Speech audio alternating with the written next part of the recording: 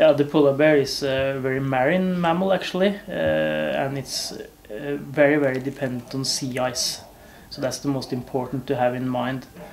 It's uh, closely related to the brown bear, but a few hundred thousand years ago, or maybe 100 to 200,000 years ago, uh, they started walking out on the ice and then they have specialized a lot. So, although they you can find, find them on land uh, regularly, they are still very, very dependent on sea ice part of the year. So, they wouldn't be able to live without sea ice. And the main reason why is that they hunt mainly uh, seals that also depend on sea ice.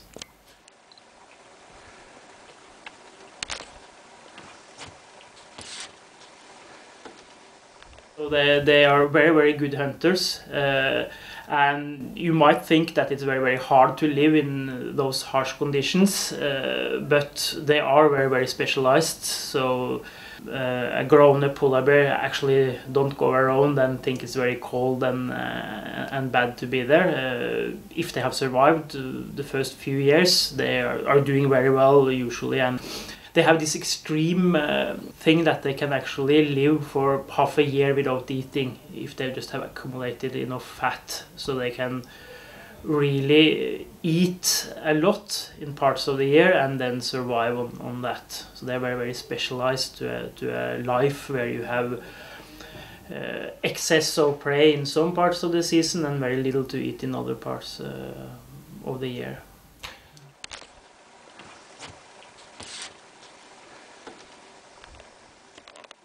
brown bears uh, go into den every uh, winter and uh, save energy that way.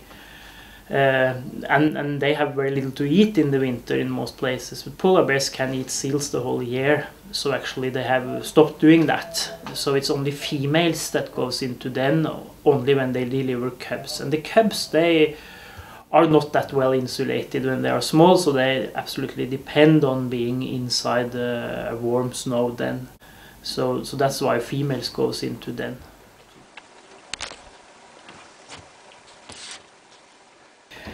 Uh, actually, we don't know, but we think there might be about 20 25,000 polar bears all over Arctic. But for many places, we have very, very little idea about uh, exactly how many bears there are. So it's a lot of guessing.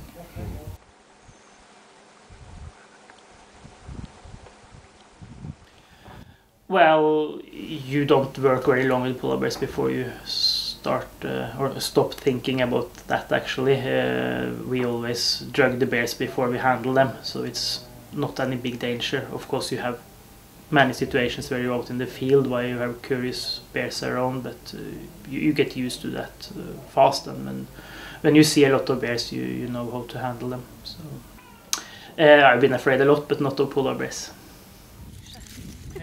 akutt nysgjerrig. Lurer fælt på.